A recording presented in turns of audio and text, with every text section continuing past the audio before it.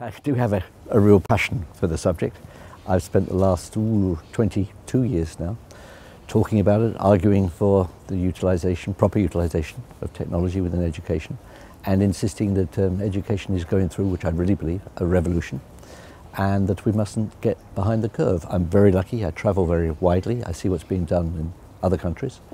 Um, and uh, I'm also put my money where my mouth is. I teach uh, university courses from my home in West Cork using uh, distance technology, uh, in my case a Cisco telepresence system, and it works. I mean, so I, I've, I've been there, tried it, drunk the Kool-Aid and discovered that it's done me no harm at all.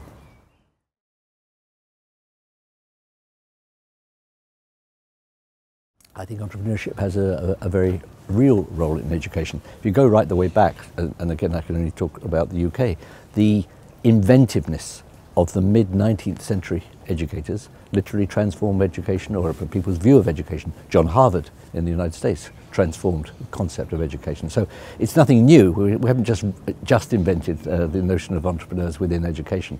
I think what is new and is challenging actually, um, we've been talking about it this afternoon, is ensuring that the ethos of education, the values of education, the things that actually make education different from, um, from commerce are protected and preserved at the same time as using the many, many, many lessons that the commercial world can teach us in terms of how to move ahead and advance and, and, use, the, and use technology intelligently and well.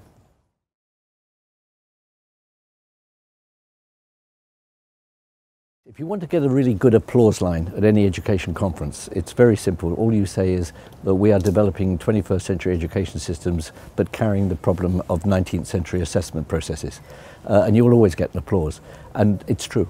I think the area of assessment is an area in which uh, technology can play a very, very important role.